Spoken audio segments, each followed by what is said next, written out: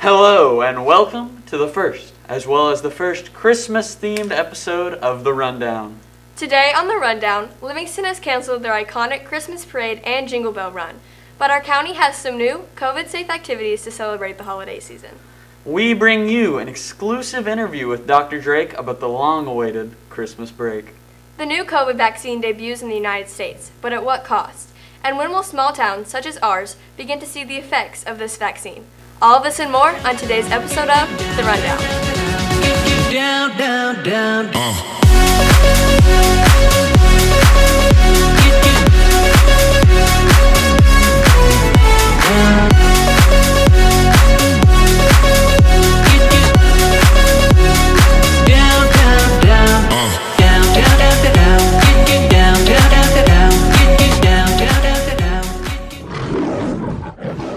Start us off, Macy Hill is here with your upcoming campus news. Hi guys, it's Macy Hill and this is your LHS Campus News. Firstly, basketball is kicking into full gear with games usually every Tuesday and Friday. During the break, however, games will only commence on Tuesdays. Soccer is also starting back, and both girls and boys have a game on Saturday, January 2nd at Huntsville. After the break, soccer will regularly have games every Monday and Thursday, so come on out and support your teams. Student Council will also be starting after the break. See Mr. Curse for applications and be on the lookout for the first meeting. The cheerleaders and mascot will be traveling to Dallas to compete in the UCA cheerleading competition on January 14th and 15th. They have been working hard all year and we wish them the best of luck. The first UIL competition is January 8th, the first Friday we come back from the break. Most of the events will be held virtually, but contact your coach for specific details. I'm Macy Hill, and that's a wrap for your campus news. Thanks, Macy. Be sure to keep checking back with us to hear all your campus news. Next up, a segment called What's Up, LHS, where your favorite teachers will give you some wonderful advice to survive your high school career. This week's teacher is biology teacher Mr. Sanford. What's up, LHS? This is Mr. Sanford, and I'm coming at you with the advice from a teacher for this week. My advice this week is spend less time on your phones and more time getting fresh air and exercise. Thanks, Sanford. Love you. Now, time for some world news.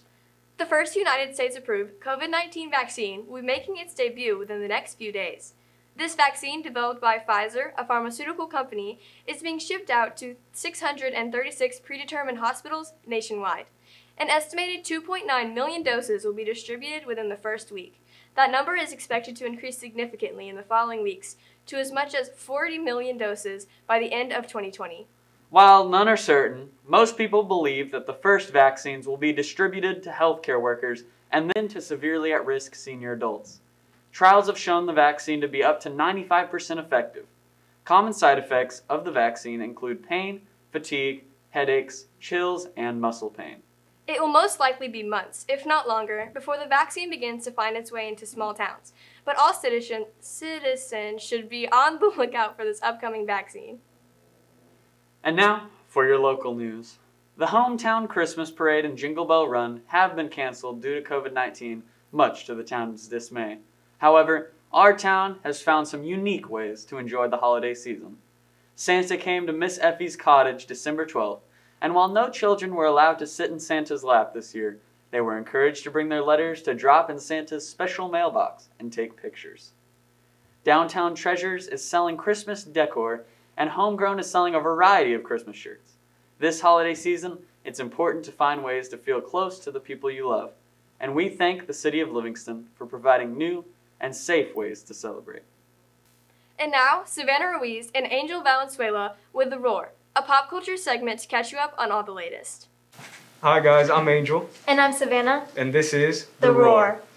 January 26th marks one year after the death of Kobe Bryant, an NBA legend, a father, a husband, and so much more. And while no one could have predicted the fatal helicopter malfunction, we remember and honor the lives led by Kobe, his daughter, and the seven other passengers.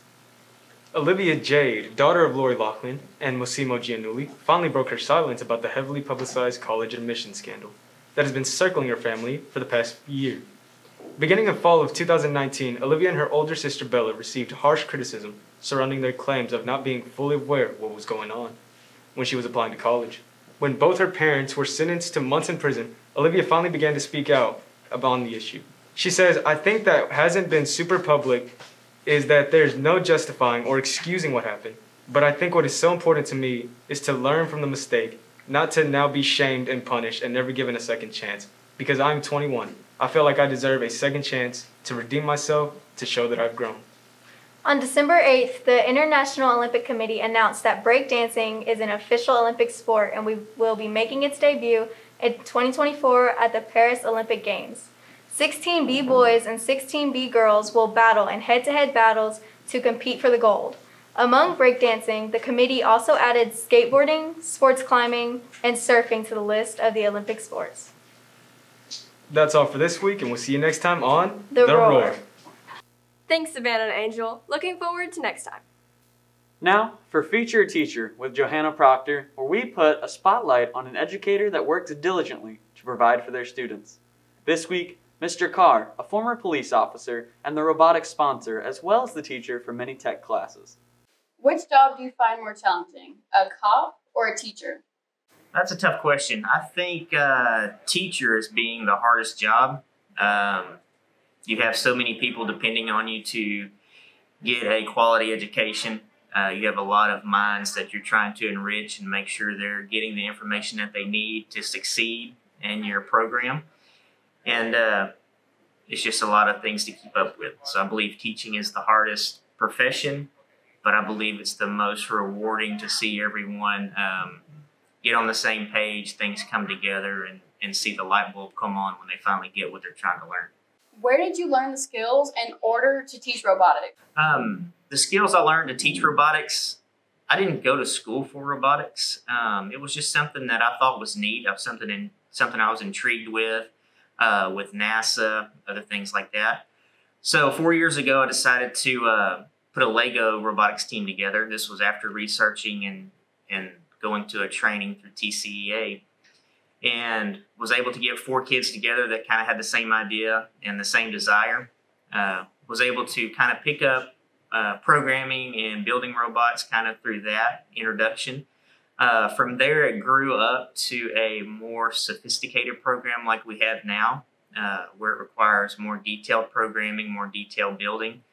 Um, for the training, I learn stuff every day from the kids and online, so I'm constantly learning. And the best education for robotics is to jump in and do it. How did you become a teacher? How did I become a teacher?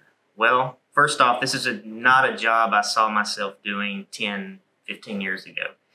Um, one day on the way home from work, driving back and forth to Houston for several years as a tech support uh, representative for a company, I decided, why am I driving two hours a day to work, being away from my family, doing technology when I can teach it at home? Um, so that inspired me to go get my teacher certification, and um, which allowed me to come to the school district and actually teach technology instead of working in it all day. So now I have the greater reward of teaching the younger generation to fix problems that our world is now having with technology. Bonus question What is your favorite holiday and why? My favorite holiday is, of course, Christmas, like every other kid. Uh, my internal kid, I love the lights, I love the decoration, I love the the feeling of being around family, seeing the love throughout the year, uh, exchanging gifts, and just being with the ones you love. So Christmas has to be it, and seeing the joy of Christmas morning on my kids' faces. Thank you, Joanna. Can't wait to see what teacher you'll highlight next. Now, an exclusive message from Dr. Drake about the upcoming Christmas break. All right, good morning, LHS. Just wanted to send you off for the holidays. We're very excited about uh, getting a little break and, and getting out of here. But, you know, just a couple reminders. First of all, have fun, be safe. Um, you know, we still got the pandemic going on, but, you know, enjoy time with your family. Uh, but, you know, when you go out and help the community to stay safe, so wear your mask and do those things so that you can start back on the first day of school. That way we don't get a report that you've close exposure or um, you tested positive yourself. So we want you and your family to stay safe and just have a Merry Christmas. Uh, we look forward to getting back to next semester, getting back to a little more normalcy, and just having a great uh, great time when we return and finishing off this great school year uh, just as strong as we started. Thanks, Dr. Drake. Can't wait for this break, but anyway, that's all we have for you today. We hope you enjoyed what we have, and we hope even more that you'll tune in next time. I'm Mallory Wester. And I'm Drew Dunson, and this has been the first episode of The Rundown.